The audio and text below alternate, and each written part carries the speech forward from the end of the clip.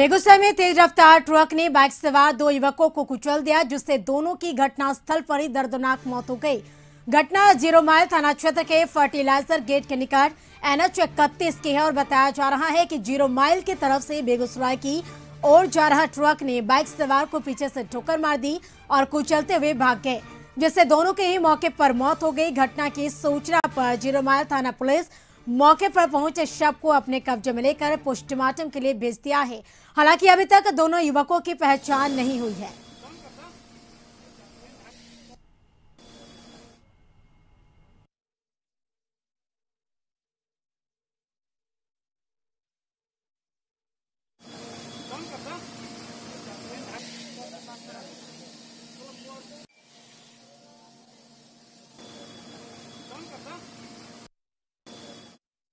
बेगूसराय की तस्वीर जहाँ बाइक सवार दोनों युवकों की मौत हो गई है। तेज रफ्तार ट्रक ने बाइक सवार दो युवकों को कुचल दिया, जिससे दोनों की दर्दनाक मौत हो गई है।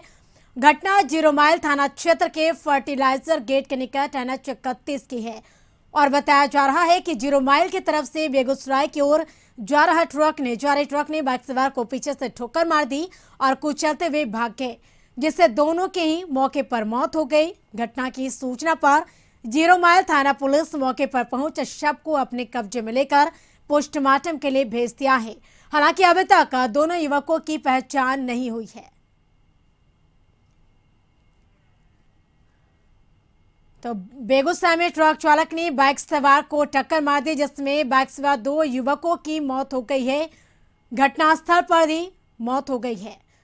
और ज़्यादा जानकारी के साथ बेगूसराय से हमारे संवाददाता सौरभ जुड़ चुके हैं पे। सौरभ, कब और कैसे यह हादसा हुआ और फ़िलहाल क्या शव की शिनाख्त हो पाई है?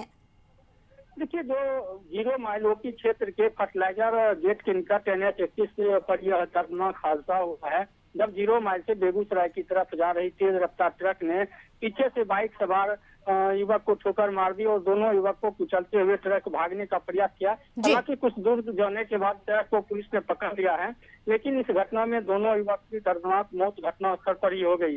हालाँकि अभी तक पहचान नहीं हुई है और अनंत फनन में ज़ीरो माइल थाना पुलिस ने दोनों सबको कब्जे में लेकर पोस्टमार्टम के लिए सदर अस्पताल लाया।